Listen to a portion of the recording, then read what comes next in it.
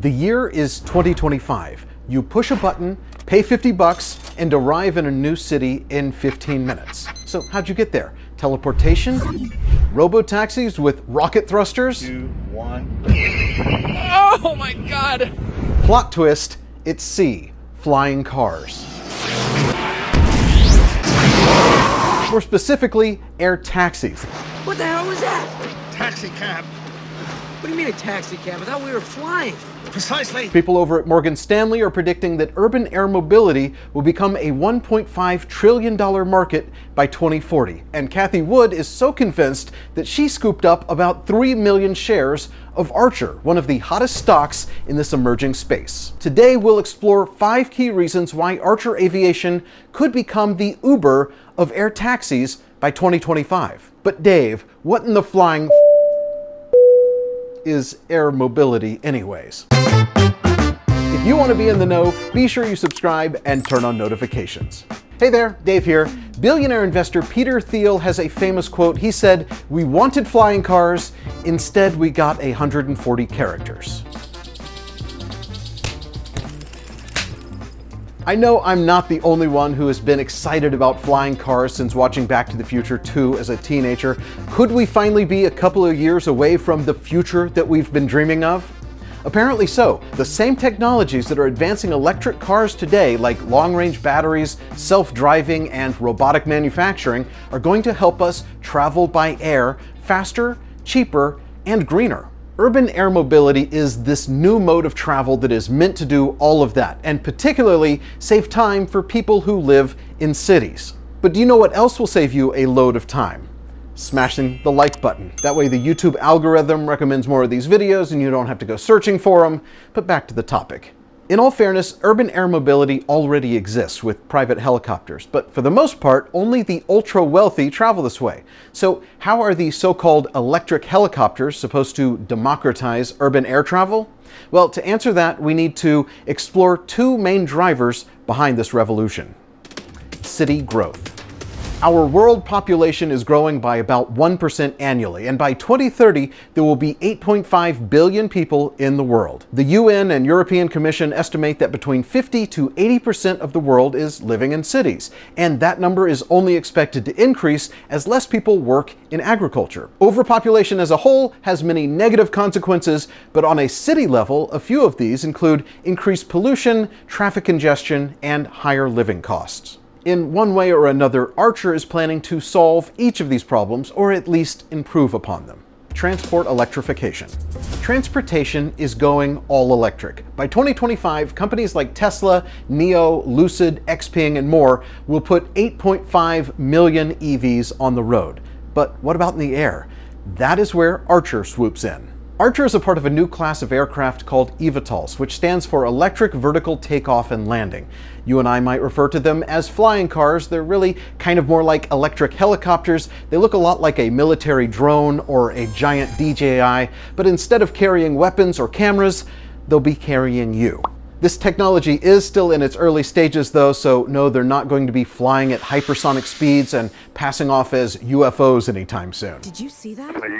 Most of these electric aircraft only have about 95 miles of range. For context, the average helicopter is roughly 250 miles of range, and the top helicopters can fly over 1,000 miles on a single tank. But investors are still excited about eVTOLs because they promise three benefits.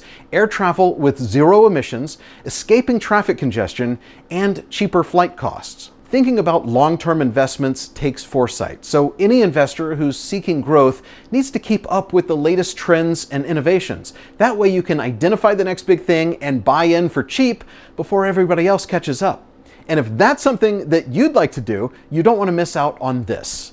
Trends by The Hustle. It's a community of over 16,000 investors and futurists and entrepreneurs that you can network and collaborate with and learn from. There's even stories about members who have raised and started businesses worth millions of dollars by leveraging the trends research and community. You can check out this article about the hidden innovators of the exponential age. Take advantage of this special offer you can only get on my channel. Start your free seven day trial today and you'll automatically save 17% on your yearly subscription. Go to trends.co slash Dave Hanson. That's trends.co slash Dave Hanson to start your free seven day trial and to save 17%. Another lesser known use case for Trends is seeing who else is pursuing your business idea and spotting these competitors from miles away helps you be more strategic in developing your edge. The same way that Archer isn't the only player in electric aviation. Startups like Joby and Wisk, along with aerospace giants like Airbus and Boeing, are all developing their own flying cars.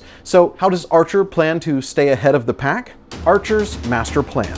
Archer's mission is to advance the benefits of sustainable air mobility. To do this, they laid out a three-step master plan.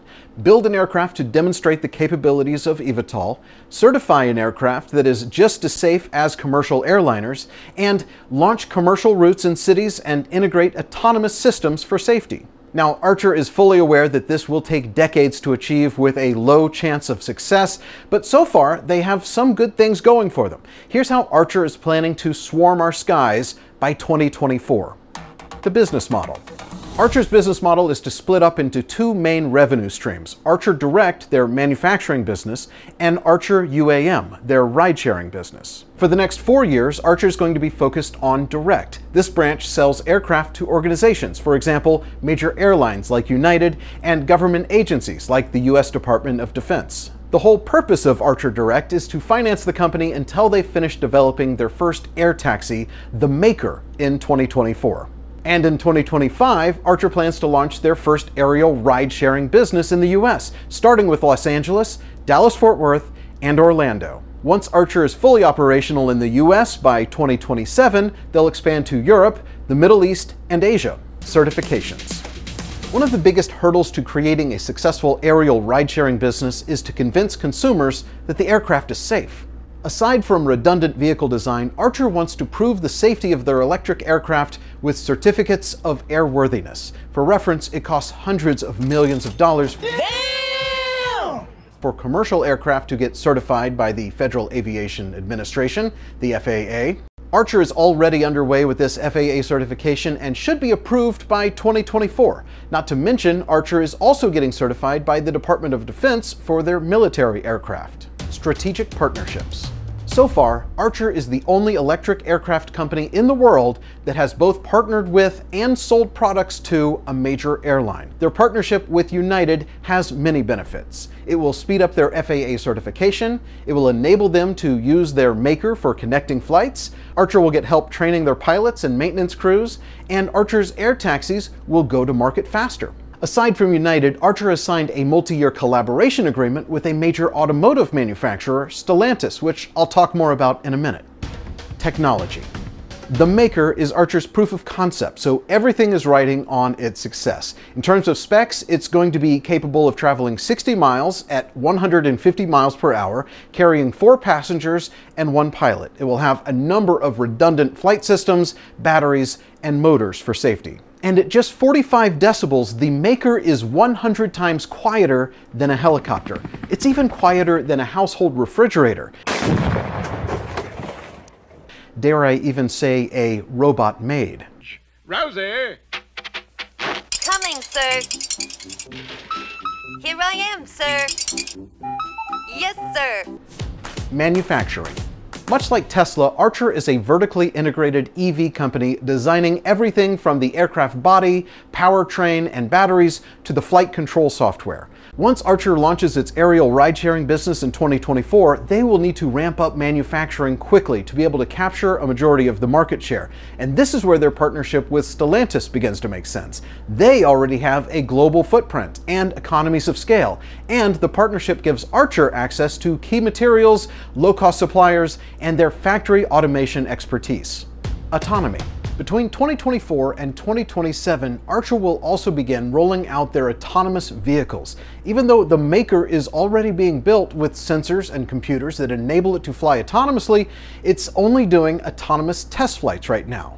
Once the Maker is being piloted on a commercial scale between 2024 and 2026, Archer will collect the massive amounts of data they need to optimize their artificial intelligence.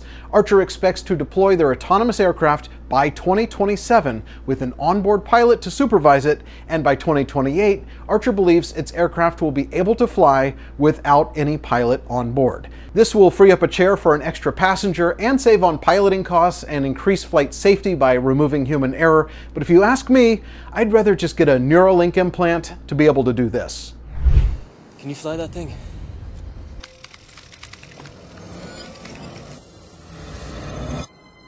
Let's go.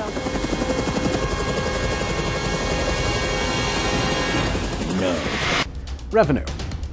Out of the $1.5 trillion urban air mobility industry, $674 billion could come from ride sharing alone. Archer also claims that one of their aircraft will be able to perform 25 daily trips at an average distance of 25 miles per trip and an estimated cost of $3.30 per seat mile. One of these flying cars could generate $2.4 million per year, and about half of that is pure profit. By 2025, Archer expects to break even and then generate more than $2 billion over the next five years. But how much revenue have they generated to date? Well, Archer recently merged with Atlas Crest in a SPAC deal to go public, valuing them at $3.8 billion. They'll be pocketing $1.1 billion from the deal to invest into R&D. Besides that, United Airlines has already ordered 200 aircraft from Archer worth a total of $1 billion. And at that order value, we can guesstimate that one vehicle goes for $50 million. Later down the line, Archer is also going to be exploring a number of other revenue sources, like cargo for logistics and retail companies valued at $413 billion, military aircraft used for high risk flight missions valued at $12 billion, and airlines for personal and business travel valued at $177 billion. The risks. Now, before you go running off with a wallet to buy some ACIC stock, hold on for one second. You should take all of these projections with a grain of salt. I mean, Archer built these to pitch themselves to investors, so there's obviously some bias there. To give you a more balanced perspective, here are some of the biggest risks associated with Archer and, in some cases, all flying car startups. First, aviation is a capital intensive business, so expect Archer to operate at a loss for the next five years at minimum. United Airlines is Archer's only client at the moment, and if for some reason that partnership is terminated, then all of their financial projections are out the window. Urban air mobility is an emerging industry that is still unproven. If for some reason people don't want to travel short distances by air, then all of these companies will go bust. And even if people embrace this technology, the companies are still dependent on laws and regulations to play catch up. And events like natural disasters and global pandemics could force this type of business to shut down for large periods of time. If one of these electric aircraft malfunctions or gets into an accident early on, it could destroy public confidence in the technology, much like the Hindenburg disaster did with airships. All the humanity and all the fans did Hopefully you liked this video and learned something new about Archer Aviation and urban air mobility and eVTOLs. And to sum things up, Archer has a few key advantages over other startups like Joby and Wisk and Lilium and Volocopter and EHang. There are a bunch of them, but Archer is pending US FAA and DoD certification. They plan to make their aircraft fully autonomous. They're vertically integrated with modular aircraft design. They have strategic partnerships with United Airlines and Stellantis. They've received the billion dollar purchase order. Their aircraft does 150 miles an hour, which is the upper range of eVTOLs. And before you click away, I do want your opinion on this. Will we see air taxis by 2025? What about autonomous aircraft by 2030? Let me know what you think down in the comments and don't forget subscribe, notifications, be in the know. That is the latest from here. I'm Dave Hanson. I will see you back there for the next Hey There Dave here.